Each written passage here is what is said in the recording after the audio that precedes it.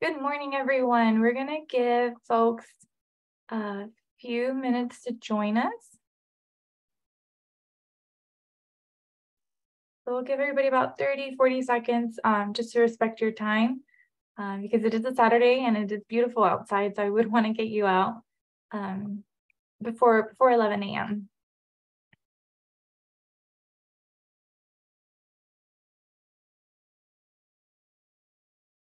morning. If you're just joining us, we're going to give folks just a little bit before we get started.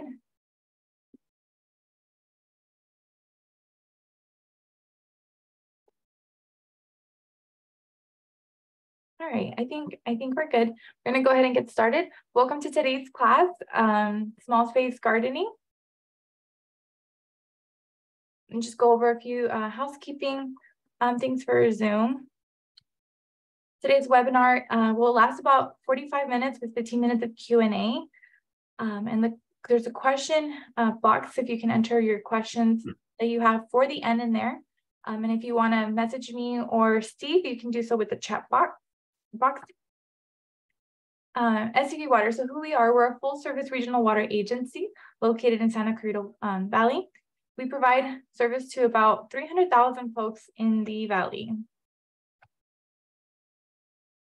Um, this is a page that's kind of important if you're interested in some rebates or resources. Um, visit conserve.yourscvwater.com. And we also have landscape resources. We um, recently put together a new a top 100 SCV friendly plant guide. I highly recommend that if you're interested in um, adding new um, native and uh, drought friendly plants to your um, collection of plants.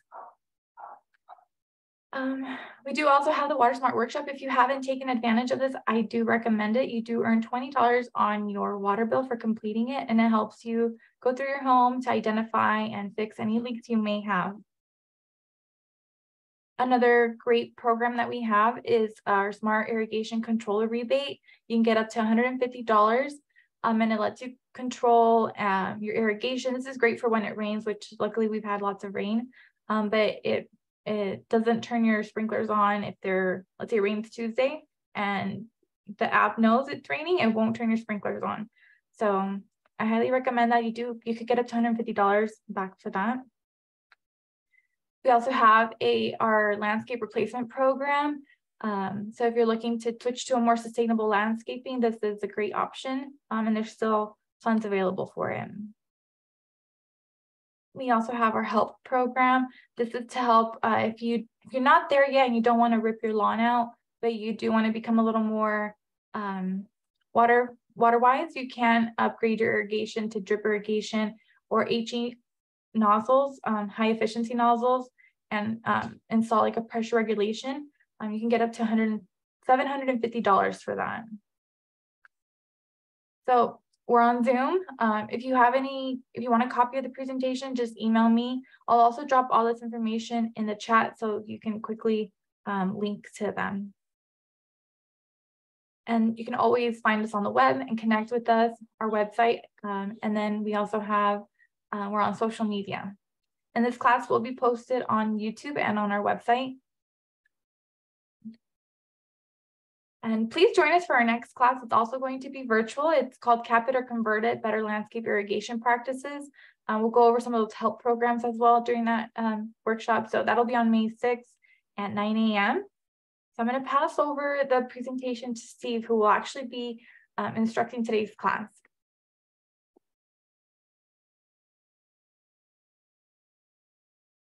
Okay, I need to be able to share the screen. There we go.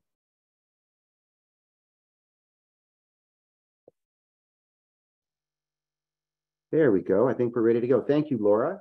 And welcome everybody to Small Space Gardens. And we're, you know, really looking for those of you who have those smaller patio areas, you live in condos or just small space gardens that you're looking to address and landscape properly. Uh, myself, uh, I graduated uh, from Mount San Antonio College and I Spent some years working at Descanso Gardens and Huntington Botanical Gardens. I've actually been teaching at Mount San Antonio College now for the last 19 years. And I've been a master gardener since 1996 in the Southern California area. So uh, let's get going here. So we're looking at our small garden space and um, we want to um, take a look at how large that is. And it may be that you actually have a, a garden, but you have small areas in your garden. We'll call these garden rooms that we're looking to address and perhaps to landscape those as well. So we're going to talk about the space, design, materials that we use, themes, and then hard hardscape and softscapes.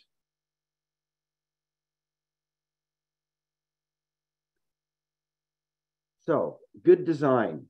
Um, I don't, wouldn't necessarily call this good design, but let's look at the factors that we're, we're going to talk about today. We're talking about the functionability, how we're going to use this space, and um, having a theme that we're going to carry through this area and group things together, coordinate our colors, have nice details, using attractive materials, and keeping it simple. Now, I'd say that this here incorporates a lot of those factors, but simple and good design, probably not. Let's go ahead and look forward here.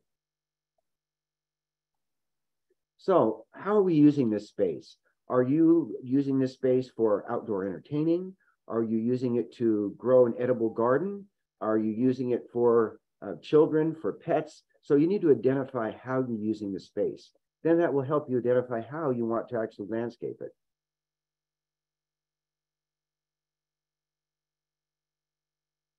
So uh, we can choose, sorry, I'm having problems advancing my slides here. There we go. Garden themes. Ah, it's doing a mind of its own. So if we can determine uh, what style that we want to incorporate into this design, we'll look at some of those in just a moment. This will help us then determine the choice of plants, uh, softscape, your materials, your hardscape, and um, the design that you're actually going to incorporate throughout that area. So this can in include, of course, structures that are built, furniture, containers for the plants, and accessories for that area to, to brighten it up. So here's an example here. Sorry, again. Contemporary. Uh, a contemporary garden is a modern one. We have these geometric shapes. We have hard linear lines, bold plants that are maybe new and uh, incorporate bold foliage in their colors in their form, uh, something that's going to be very dynamic and contemporary and, and modern. So as you can see here, we've got the geometric pathways that leading to areas, and this is a, a smaller space here, maybe larger than you have in a in a condo, but uh, again, we're looking at small spaces in the outdoor area of the garden as well. Cottage gardens. Cottage gardens will have meandering paths that lead you to a destination that's unknown around that corner with uh, mixed materials that are very loose and flowery, uh, inviting. Um, it's going to be interesting in its color dynamics and the type of materials that are used in the pathways um, will hopefully be ones that will allow water to percolate through the site. As you can see here, we've got that going on with gravel and so on. So um, cottage gardens are, are fun. The flowers will, um, throughout the year, we can have different bloom cycles. So there's always some color going on. It can be very inviting to wildlife with this type of flowering garden, birds, bees, and butterflies. So cottage gardens are always an exciting thing to incorporate into your design.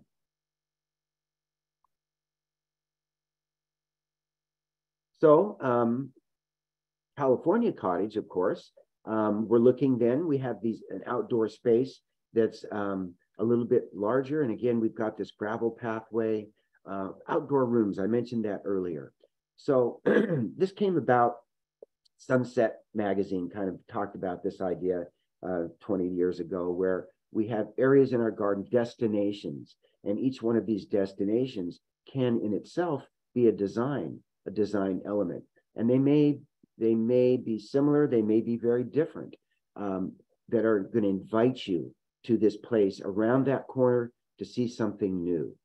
Um, we can incorporate you know, older things, vintage items. We can incorporate vin- whimsical decor in the garden, Garden art is always a fun thing to have in our garden and to search and hunt for those in your, your shopping trips and bring those home and add those to your design. You can see the pathways, um, instead of with the contemporary garden, they're very straight and linear. We have very meandering, uh, curved lines that are very inviting. You may also have furniture here, places to sit throughout the garden that you can sit and enjoy the wildlife that you're inviting as well. You notice lots of color, as I said, and throughout the year, we'll have different bloom cycles that happen. There's always some interest in the garden.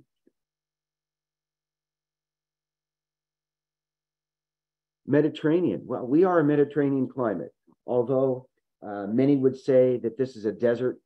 Technically, we are not a desert climate. We are Mediterranean.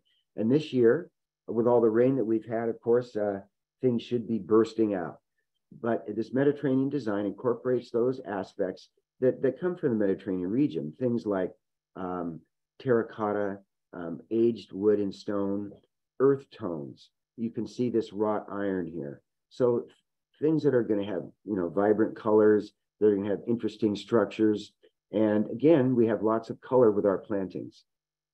So Mediterranean design fitting into our Mediterranean climate, incorporating those ideas from the Mediterranean region in Europe.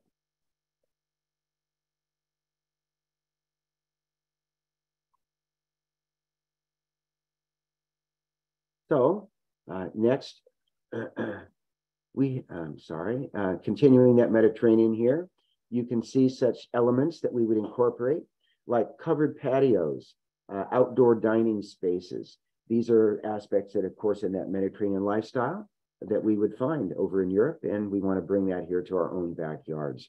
Uh, it may be that you have uh, an outdoor oven, a pizza oven, perhaps. Uh, people are very popular with those nowadays, incorporating those into our outdoor designs. So moving on to another design element here, tropical or Asian, um, where we're going to see uh, other factors here, um, you know, distinct foliage that fits into the Asian um, landscaping. And uh, there's uh, the palette of plants that come from Asia is tremendous. Many, many plants that we utilize in our garden space here. In fact, in the Southern California region, um, Asian landscaping was very popular back in the, the 50s and has continued ever since. So a very green palette, um, lots of, of, green flowing plant materials, incorporating even bamboo.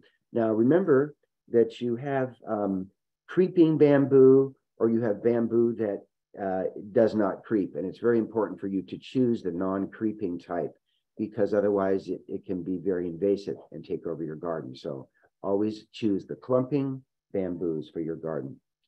Um, water, incorporating water features. Um, it may be that you have a, um, a small stream area. Uh, notice that we have, you know, clean lines uh, that are simple, but we incorporate, of course, a lot of distinct foliage and plant materials as well. So here's an example where we've uh, and made the outdoor space appear to be larger. This is a mirror back here, actually. So in this patio space, we've incorporated a mirror that gives the illusion that the space is bigger than it is. And um, it makes for, um, you know, a, a larger appearance uh, to your eye, your mind's eye.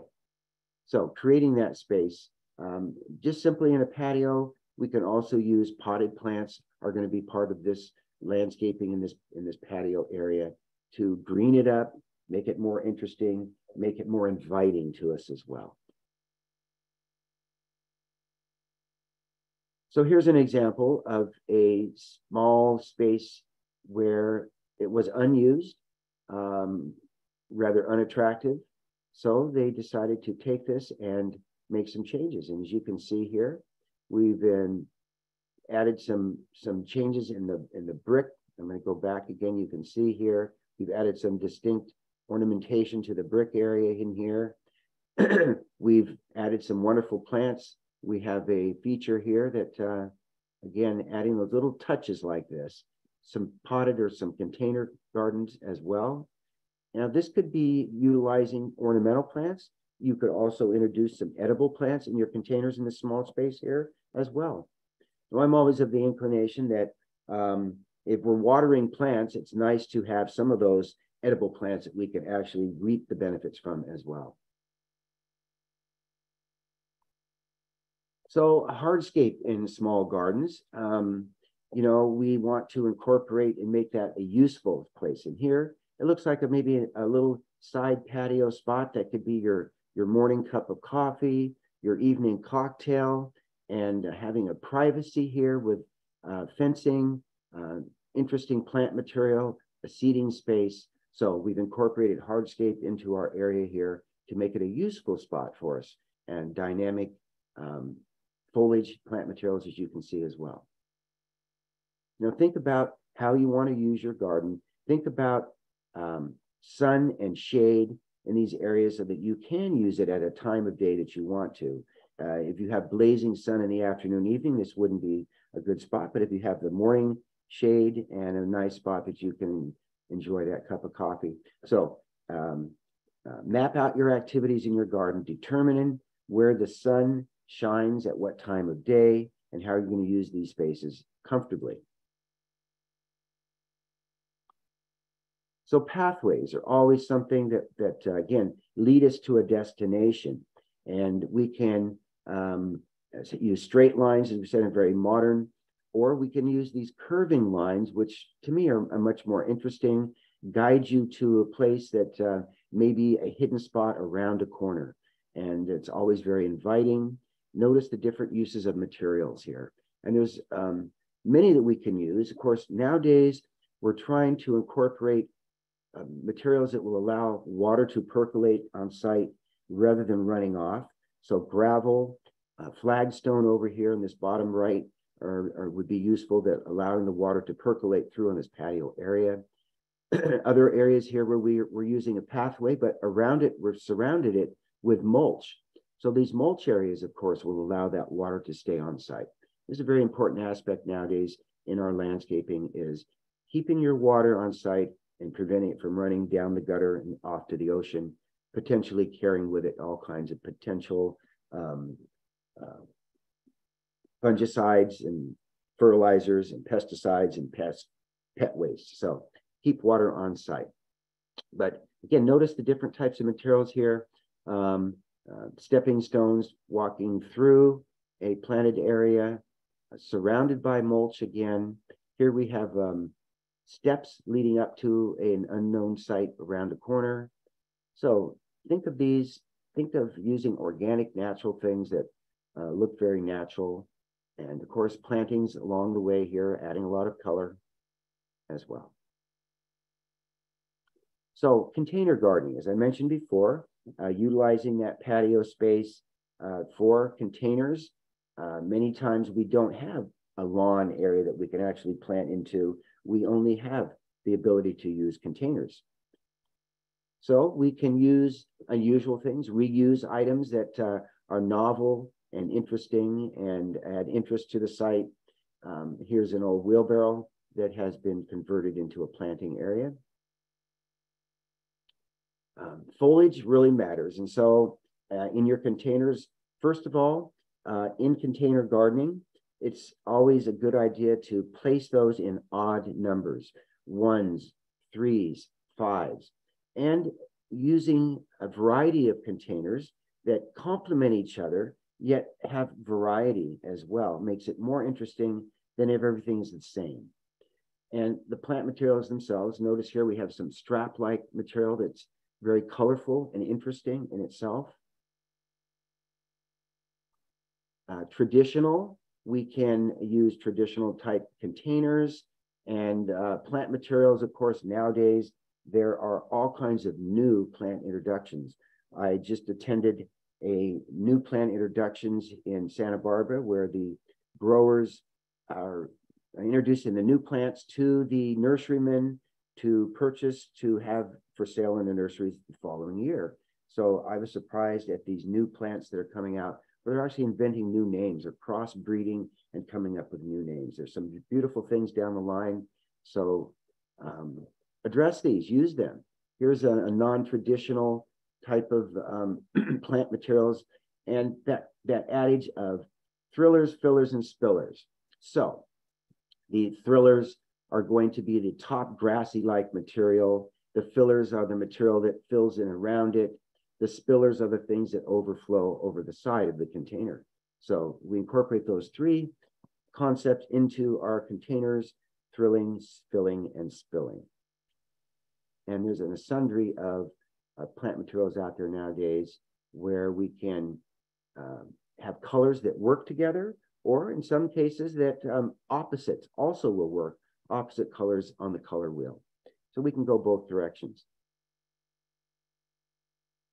Containers can be of all different kinds. Uh, reclaimed materials, of course, are always great because uh, reusing things in today's world, we're trying to, to be more sustainable. So reclaiming and reusing things, using bold shapes. Um, here's a large steel pipe that's you know kind of rusty, so it has a rustic look to it. Um, conduit, rebar. Over on the right here, um, these originally were made out of metal. Nowadays we have fiberglass containers, which are great because they're going to be a little bit cooler than a steel metal container. Think of that in your garden in the summer heat. Uh, you know, a steel container in the full sun is going to get very hot. The soil in there is going to heat up. The roots of the plant might not be real happy. So placement of these would be important so that you're not going to incorporate that extra heat into the root zone.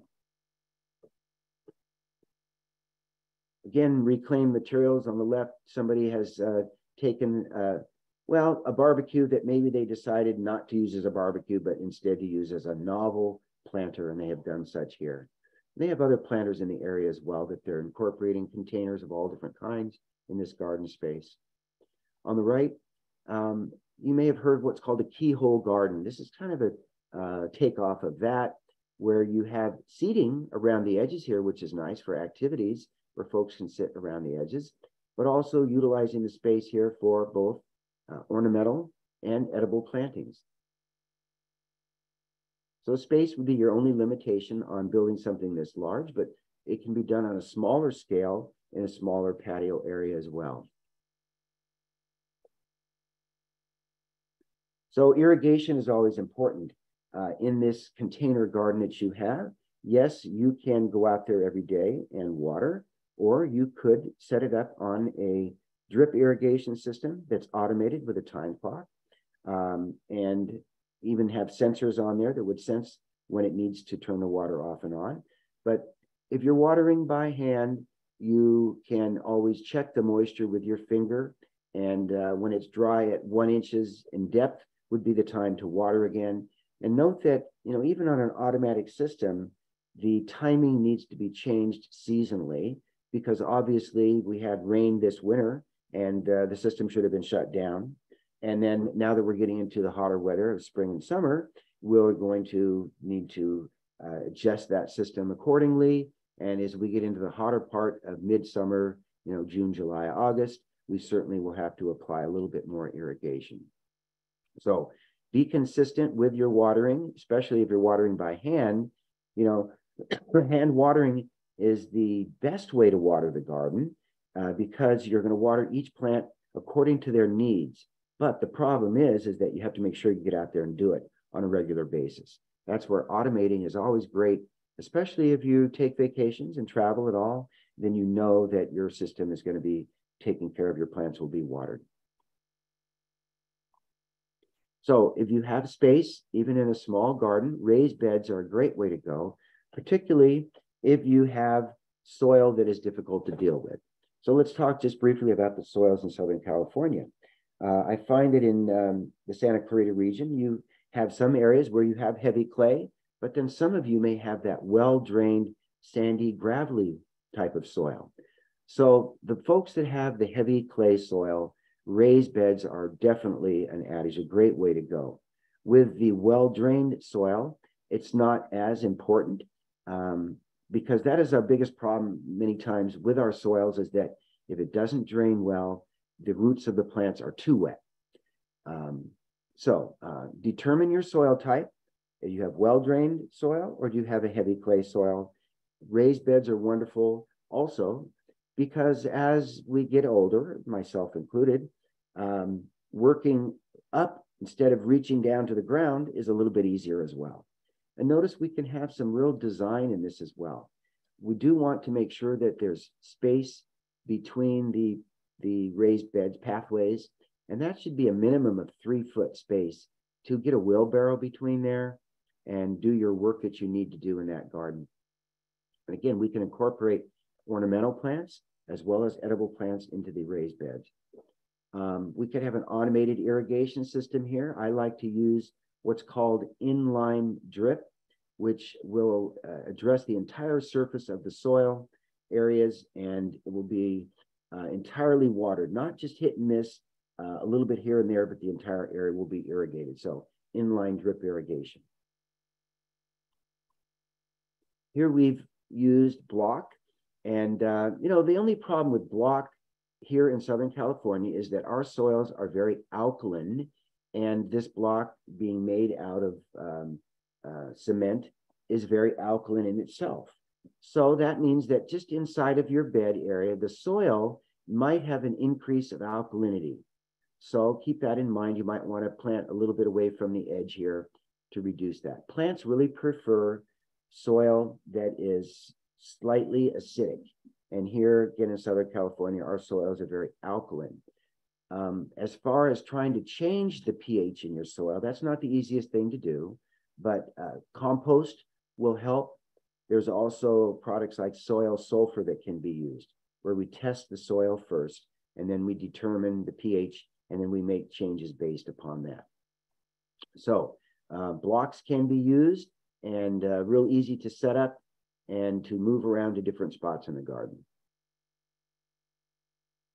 No, I like to um, add or incorporate um, edibles in my garden, as I mentioned already, and a orchard area.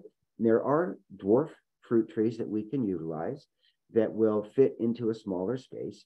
Some can even be grown in containers, and um, they, of course, need to be 18 inches or larger. Um, we can choose such things as citrus do very well in Southern California and can handle our climatic changes typically. Uh, dwarf varieties in a container of citrus should be grown in that container for maybe four or five years. And then we should lay that container on the side, maybe pull that plant out, trim the roots a bit, add a little bit more soil and replant it, uh, especially for citrus.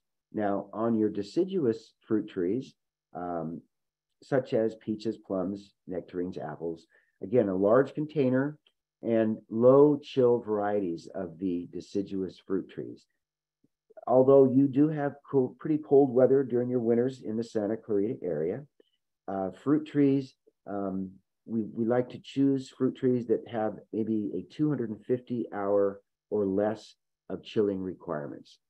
You can go to a website, davewilson.com, and you can find out that information there about chilling hours, about different required hours for different types of trees, and then choices that you can make at your local nursery and incorporate those into that patio area.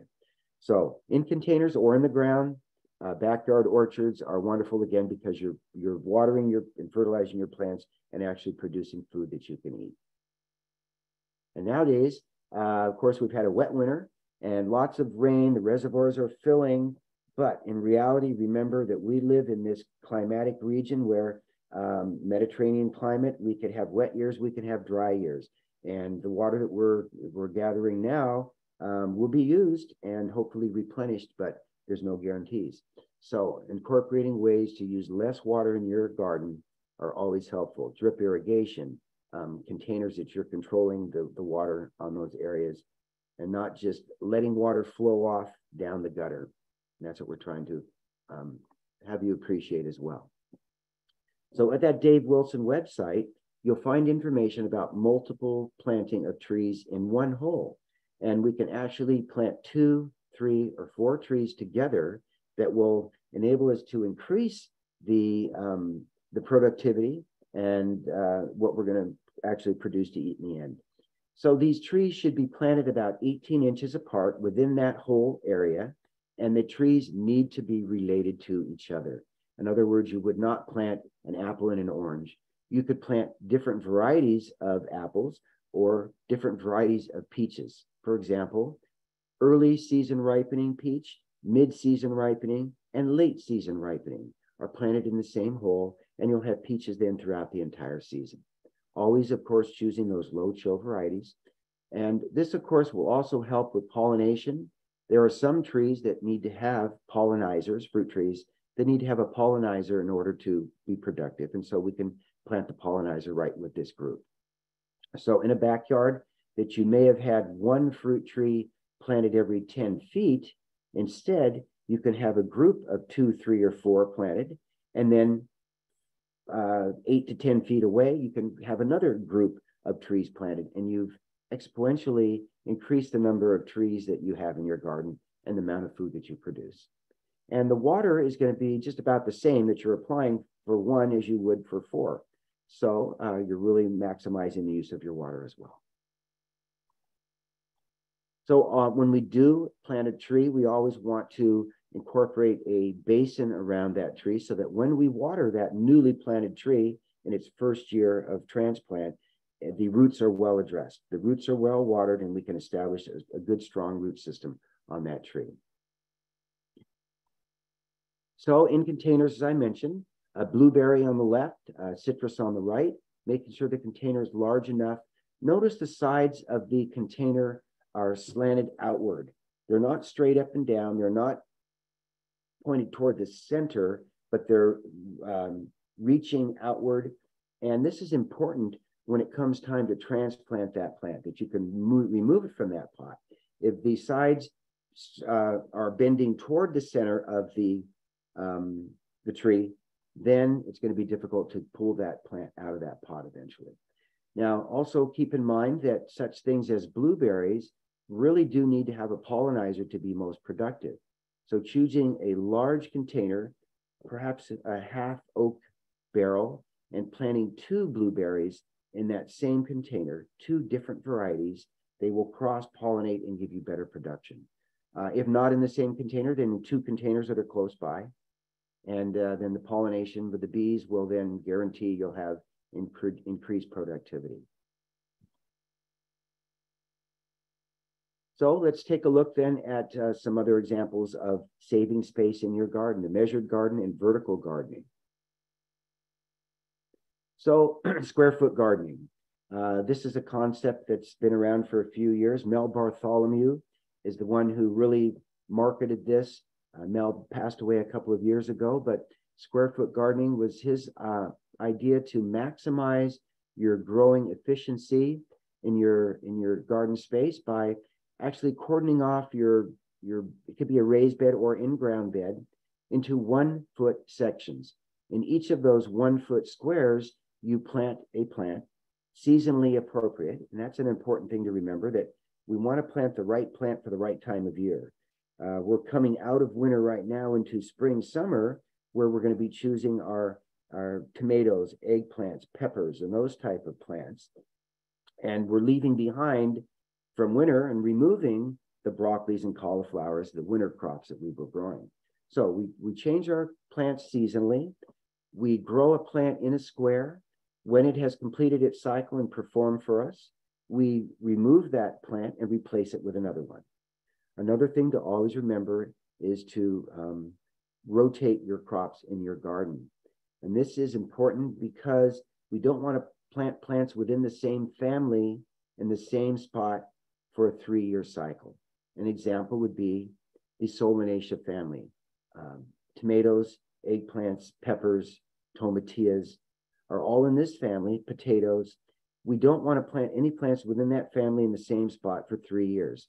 The reason being that plant diseases, plant pests, uh, soil-borne diseases can be a problem if we plant plants in the same family. They're likely to attack that plant within, within that period of three years. So we move the plants around within the squares or in your other garden efforts so that we um, rotate those plant families. It's very important. So you can find a list of plant families if you Google it, uh, vegetable plant families, and this will help you do this. So this square foot gardening again is uh, very productive because you're really utilizing your space best. and always having something grow year round within a spot.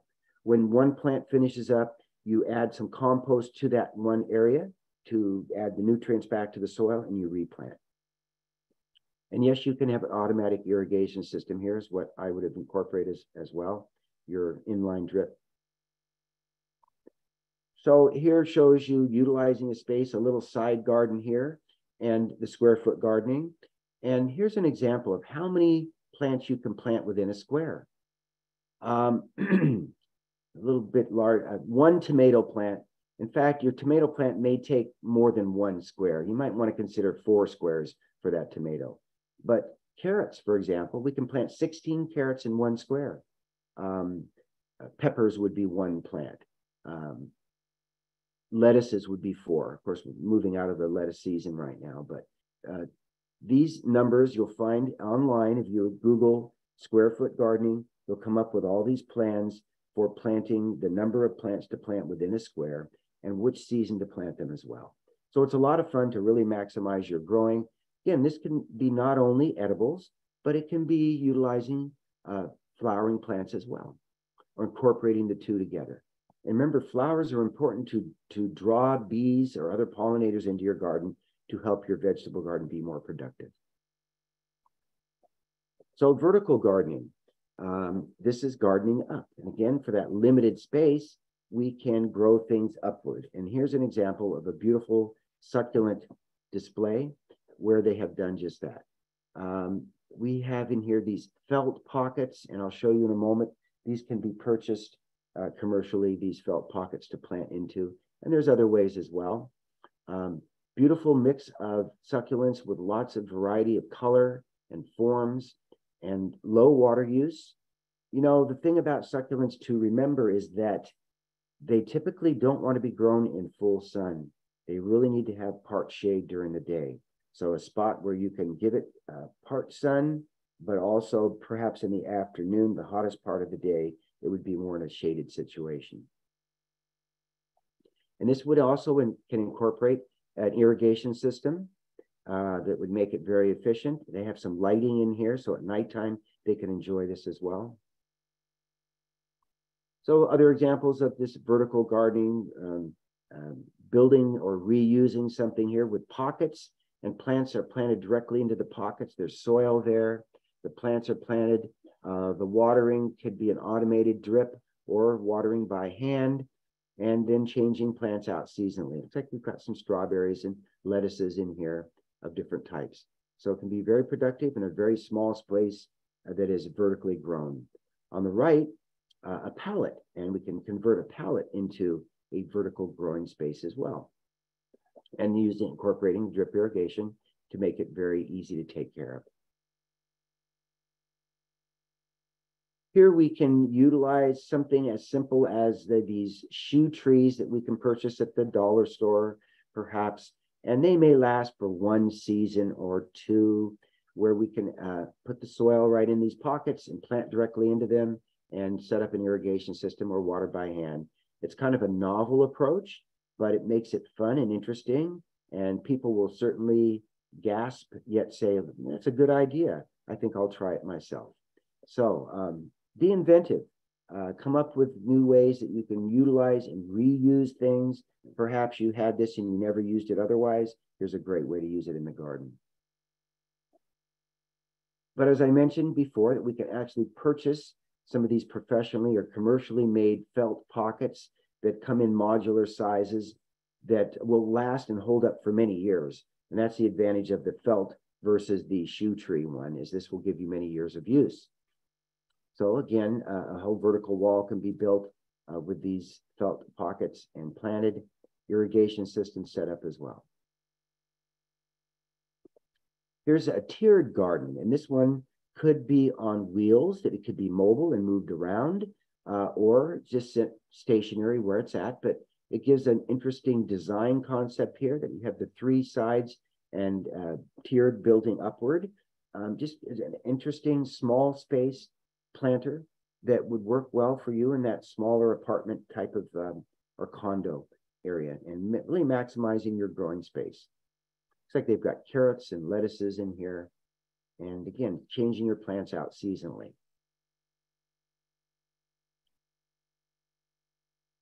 So just containers themselves, and they have made tiers here by utilizing some platforms to plant, uh, to set the pots on. And again, notice that it's a variety of containers, uh, always keeping in mind the odd number in placements, threes, fives, sevens, gives a better eye appeal, not only with containers, but when we plant plants in the garden and we're doing a large planting area, planting in odd numbers as well gives just a better eye appeal. So here we've got tiers. Uh, we've got a lot of color where we're uh, color, red colored pot. We've got red colored flowers. So we're, we're tying things together. Uh, we're making a lot of fun, being very flexible. Again, changing out your plants seasonally.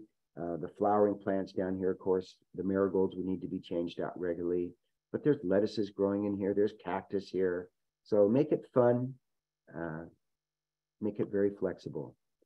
So growing up again in a smaller space, we uh, can use supports of different kinds, either homemade ones with bamboo and, and tied together here, laced together for a support for your beans during the summertime, peas during the winter, uh, could be for squashes.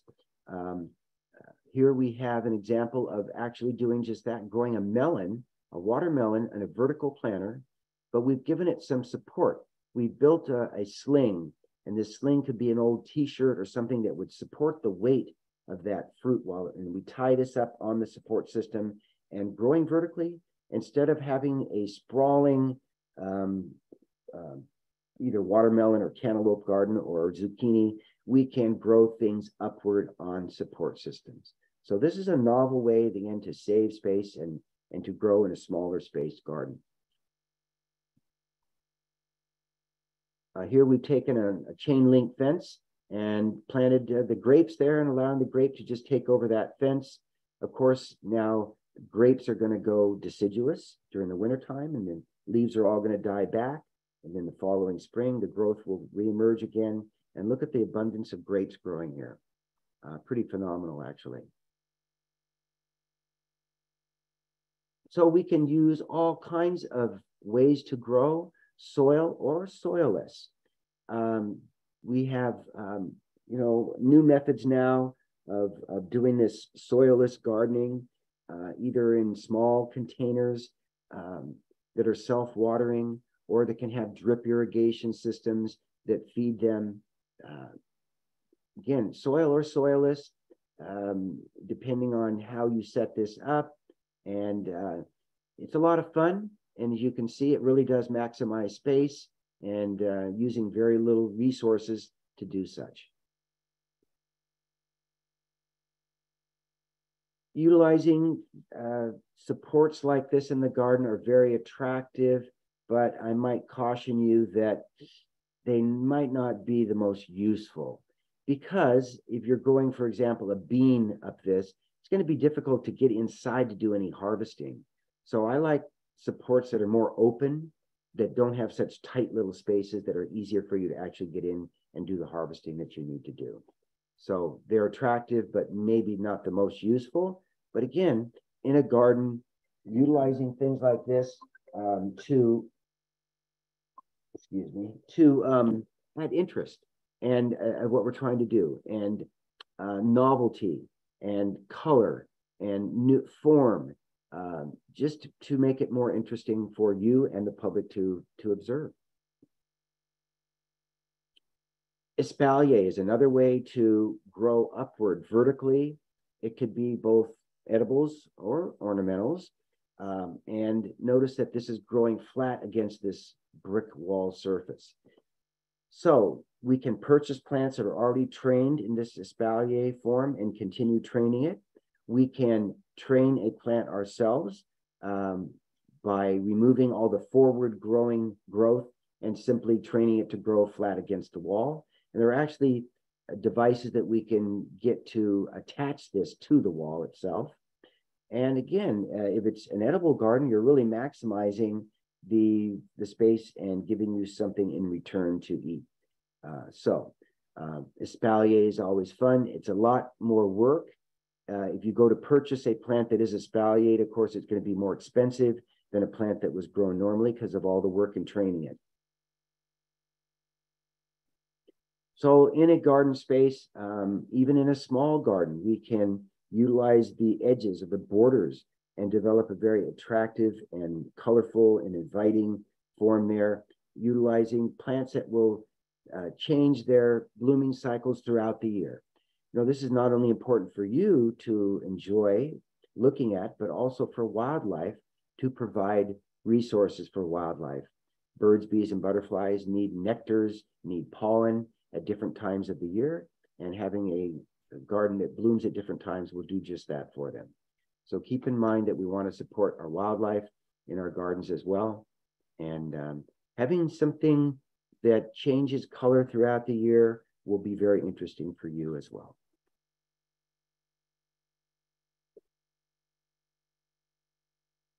So um, interplanting is um, where in that small space, we're going to, similar to the square foot gardening, as one plant finishes up, we're going to change it to another. So we having some tools, especially in a smaller condo or patio area, you still need to have your little garden tools, your pruners and your uh, little rakes and your brooms to clean up that space. So developing a set of tools is going to be important for you.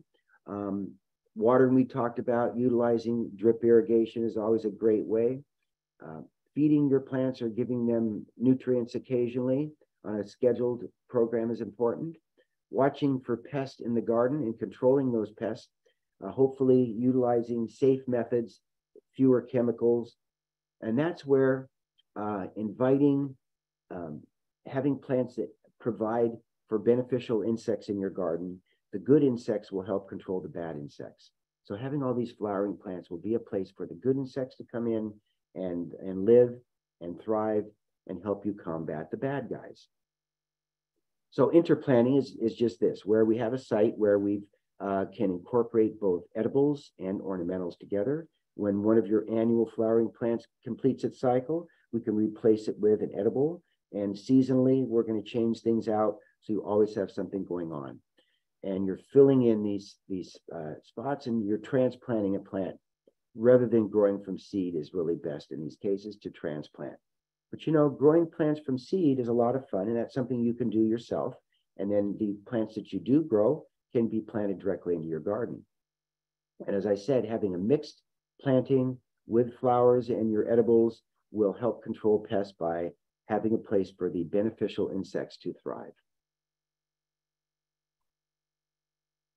So irrigation, as we said, is really important. We want to have that consistent moisture in the, in the soil. We don't want it to go wet, dry, wet, dry. And that really is stressful on plants when we do that. Um, we don't want runoff. We want to keep the water where it's at and keep it on site so it doesn't flow off of your site. Uh, we can utilize, as I said, drip irrigation, but we can be as simple as a soaker hose may work for you. Uh, always eliminating weeds. And I don't know about your garden, but right now, the with all the winter rain that we have, we have a lot of weeds growing. Get out there, take care of those weeds before they flower and set seed and continue the cycle. If you can get them out now this year, you'll have fewer weeds next year. Um, so always um, make sure that the top one inch of your soil is moistened and then uh, water when necessary. And during the summer months, uh, if you have a sandy soil uh, on a well-established plant or tree, it may be every two to three weeks uh, on a heavier clay soil. It may be less often because it holds the water much better. The other thing that's very important to help reduce your water use is the use of mulch. And mulch can come in different forms. In an edible garden, uh, the use of, of uh, straw works very well. In an ornamental garden, we may want to use more uh, material that um, is going to be more attractive. But a two to three inch layer of mulch in the garden will help prevent weeds from growing. It'll help hold the water in the soil so you have to water less. So mulch, mulch, mulch, and mulching maybe would be done at least once a year, uh, sometimes more often, so that we always have that two to three inch layer. Nutrients in the garden, as we said, your plants need um, food. So uh, nitrogen is a water soluble nutrient that flushes through the soil. So that's one that we do need to replace every year. Our other three primary nutrients, phosphorus and potassium of those three, uh, they maintain their place in the garden and we don't need to add them as often. So testing your soil is really important. You can get a little home test to test for these three nutrients, as well as your um, uh, your whether you're uh, have alkaline or acid soil, your pH, and then you can determine whether you need to add fertilizer, how much to add, and how often to add it. Because too much can be just as detrimental as not enough. And of course, we don't want the extra fertilizer to run off into the gutters and into the oceans as well. So again, keeping the water on site. So if we fertilize before we plant in a planting area, like a raised bed area, when the, the newly planted plants are three to four inches tall, and then throughout the season, every three to four weeks. And it can be different forms. You may want to consider using, instead of uh, fertilizing as often, using a time release fertilizer that will last through the entire season. This is particularly useful in containers, uh, maybe a color bowl and we can incorporate the time release fertilizers and have that color bowl uh, fed for the entire spring through summer. And then of course, fall would be time to, to redo that color bowl. So fertilizing is very important in your garden as well. And pest management, as I said, uh, utilizing plants, skipped ahead, utilizing plants that will uh, attract the beneficial insects that can help fight off the bad insects in your garden is what we call integrated pest management. Using the least harmful method of control, the least toxic pesticide in your garden as well is going to be beneficial for you and for wildlife. Uh, using resistant plants that uh, are, aren't prone to diseases, like a tomato plant that has disease resistance. Keeping your garden clean of debris, and again, in, in trying to encourage the natural predators into your garden. So with that, we've covered some, some points here that I think will be helpful to you in that small space garden, uh, containers, vertical gardening, uh, maximizing your growing space, square foot gardening. All of these aspects will be, be great for those small spaces. So if there's any questions, I'm, I'm open to answering those. So let's see in the chat area here. Let me back up and take a look.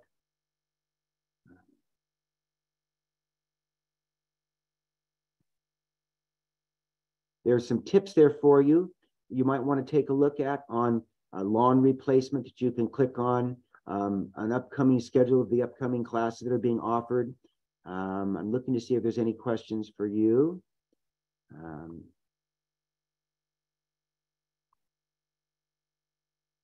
hard pruning of tomatoes, thoughts. Um, so by hard pruning, um, you know, we can, I don't know if you're speaking of hard pruning to encourage new growth.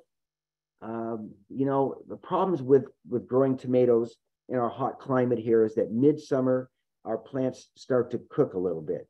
What I like to do is actually, as I mentioned before, is providing some afternoon shade for your even your tomato plant uh, or midsummer where we have that extreme heat, uh, providing shade for them part of the day will certainly extend your, your performance on that tomato plant. Um, as far as hard pruning, we can prune the tomatoes to encourage new growth. When we get dieback, we can prune them and get new growth and then continue our, our harvesting throughout the summer. There's also some tomatoes that can overwinter particularly cherry tomatoes, sometimes will live right on through a mild winter and come back in the springtime. And we can then do a little pruning on that spring plant and then encourage new growth and continue on through spring, and summer in the second year. I don't know if that's what you're speaking of, but um, certainly we can do that. Uh, I didn't see anything else here in the chat. Let me see if there's anything. Ah, here we go. Oh, so you're speaking of um, hard pruning in the respect of growing your plant in with one or two leaders versus in a cage. I personally like to cage my tomato plants because I find that that extra growth will also shade the fruit and protect it from sunburn. If you have a plant that is staked with just one or two leaders, then you have more exposure. And in our hot climate, I'm finding that your your uh, tomatoes are going to get sunburned. So in a cage, it's a lot less work. You have the extra shading, and the plants, the fruit does not burn. Okay. Um, so as far as native plants in vertical gardening, boy, that's a tough call. Um, because, you know, native plants, we typically want them to grow in a situation where they are going to receive the least amount of water. So we're not going to give them an excess amount of water. So we want to make sure that's happening. And uh, because we don't want excess growth on those native plants, we want them to, to grow less, require less pruning, require less watering along the way. Um, so I'm going to have to, I would have to uh, take a look and come up with a better list for planting vertically on those. I don't, offhand, I can't think of any good examples. Um, any other questions for the chat area? Or let's see, Q and A. Let me click onto that and see what we have there. Ah, a question here on weed removal and Roundup. You know, Roundup is pretty controversial. Uh, the potential for cancer and whether that is true or not, but there are lawsuits out there. I pretty much stopped using Roundup for that very reason. I don't want to take the risk. And uh, weeds, your annual weeds, your grassy type weeds, typically can be simply uh, cut down to the soil surface, weed eated to the surface. But your perennial weeds that have a taproot, that taproot needs to be removed. Now, in those annual weeds, if we leave the roots in the ground on those and remove the top growth, we have a factor in the soil where there's a beneficial um, relationship between roots and plants and mycorrhizae in the soil. So roots in the soil can be very beneficial, but always remove the taproot on a perennial weed. Uh, here's uh, this person removed a, uh, Lori removed a pepper tree from your front yard two years ago, and you have a barren spot where it was, and you have shoots coming up. This is very common with the pepper trees. That's a tree that you should never plant in your garden uh, because it can become very invasive. And we get these uh, shoots that grow from the existing root system that's left in the garden. So you simply need to, as those sprout up, you need to clip them off at the soil line and prevent them from growing. And over time, uh, being that they can't produce any food through photosynthesis because there's no leaves left, they will die back and the roots will die back. So it's not an easy task. The hint is do not plant a pepper tree in your garden to begin with. Um, so uh, would raised beds in a barren spot work well? Yes. Um, raised bed would work very well for you in those areas, making sure that you've eliminated any growth that could grow up through those beds from that old tree. Um, again, I'm going to have to, on the vertical garden, native plants, I'd have to refer to, to a list for that. Uh, yes, this recording will be available later as, as a recorded session. Um, growing herbs in containers, basil. Um, so in a container, we like to use a potted soil mix. We don't use dirt that we dig up out of the garden. We use a bagged potting soil. And there's there's all kinds of good brands out there. Um, typically, um, we're going to grow that basil in that container for one season. Next year, you'll want to add some additional soil to that. You'll find that the soil is going to shrink in your containers and you'll need to add additional. Mix it in. Now, if you're growing a tomato in a container, it's recommended that you actually replace the entire soil every year because there's a potential for diseases that are carried by tomato plants. And so we were supposed to really replace that soil. But for smaller plants, we can simply add additional soil every year and a, and a quality bagged potting soil would be great. Okay, let me see if there's anything else here. Okay, here we have on um, sunflowers. Um, my sunflowers are really long. They're not outside yet. Okay, so here's the deal. In starting plants from seed, we must make sure that they have plenty of light so they don't stretch. And if you're growing indoors, uh, I have bottom heat that I provide to my little seed trays, and then I have light that I immediately provide to those plants because light coming through a window for a few hours is not enough. Uh, you need more. You could take those seeds that you've started indoors and put them outdoors in the sunlight every day, but we had periods of time here recently where we didn't have much sun. So using artificial light, and there's some new um, LED lights that can be used for that purpose that are very um, energy efficient as well. And they will tell you how far they should be placed from the lights or from the plants. Some lights want to be two to three inches from the plants. Some want to be 21 inches away, depending on the light fixture that you get, the light that you get. Um, always do that and your plants won't stretch and then you'll be able to plant them outdoors and they'll perform properly for you. Okay. Um, but yes, go ahead and plant them soon. Uh, we like the soil to warm up outdoors and before we do a lot of planting from seed directly in the garden. But transplants, it's to the point now, tomatoes can be transplanted. They can handle cool soil. But as we go forward, we want to wait for the soil to warm before we transplant our peppers and eggplants, for example. But uh, sunflowers, very soon, within maybe a couple of weeks, they could be transplanted into the garden. Okay. Any other questions? Well, I think we've covered many of the questions that you had, hopefully giving you some ideas for your small space gardening, um, ways that you can grow vertically in containers uh, and be successful at that as well. With that said, Laura? Yeah, Steve, I actually want to do make a plug for a new publication we recently published. It's called Garden Smarter. I'm going to drop the link in there for you. Um, but there's actually a whole section on like gardening inside your home um, and vertical gardening. Um, and I highly recommend taking a look at that. I will be sending out a survey um, for today's um, session.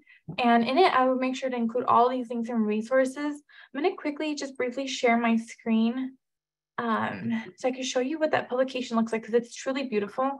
Um, and here it is. So we have a page where um, we cover growing food and the knowledge on that, um, a native wildlife.